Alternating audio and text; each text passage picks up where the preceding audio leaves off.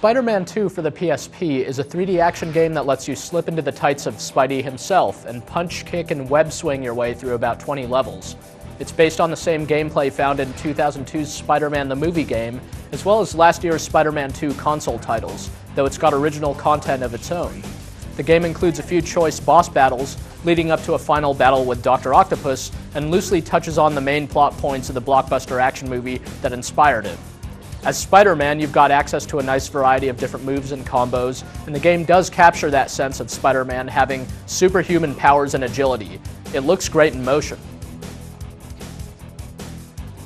The game's controls took some getting used to, especially since this was the first PSP game in which I was forced to actually use a little thumbstick to control my character. That stick doesn't feel terribly responsive straight away, but I got used to it soon enough. Some other control quirks, like having to rotate the camera angle with the D-pad, occasionally felt awkward, but overall the game controls fine. It's also quite fun, especially since there's really not much repetition from level to level. You'll go from high-flying outdoor stages into indoor hostage rescues and stuff like that. Problem is, the game's awfully short. It's not exactly easy, but all the levels are only a few minutes long, so even counting retries, it only took me a few hours to get to the end.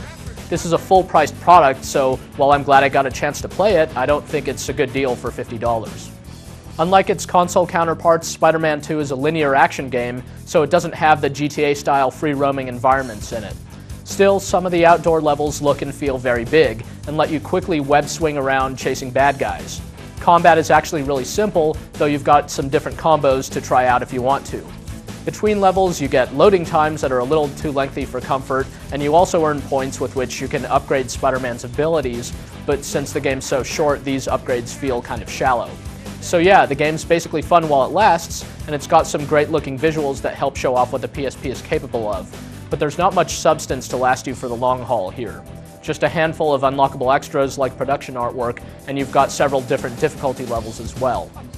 The boss fights were the highlight of the experience for me.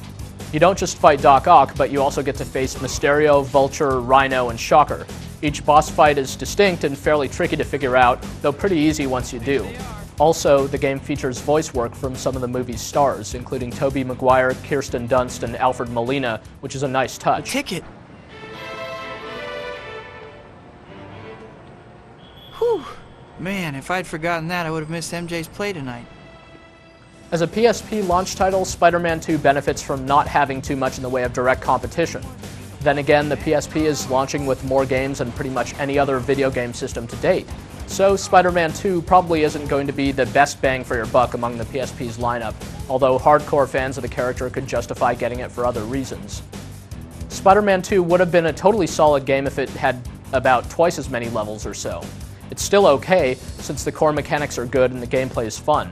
So it's a decent choice if you're a fan of the character and don't want to or don't intend to play your PSP for long stretches at a time. The bite-sized levels are totally fine for small doses of action.